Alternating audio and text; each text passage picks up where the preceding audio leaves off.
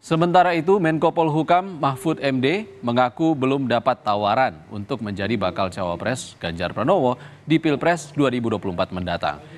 Nama Mahfud MD kerap muncul di sejumlah lembaga survei sebagai nama bacawa pres yang mampu mendongkrak elektabilitas Ganjar Pranowo. Mahfud mengatakan akan berbicara langsung dengan Ganjar Pranowo jika memang diajak untuk mendampingi Mahfud di Pilpres. Mahfud menyebut ia menjalin komunikasi dengan berbagai parpol, tidak hanya dengan PDI Perjuangan. Ganjar.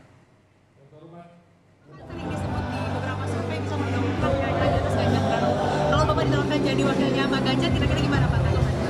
Belum, belum ditawari. Oh, belum ditawar- Tapi kalau ditawarin misalnya ada, gimana ditawarin mau nggak ada tawaran dari Pak Ganjar langsung? Nanti saya, saya jawab ke Pak, ke Pak, Ja- Pak Ganjar. Pak Mahfud.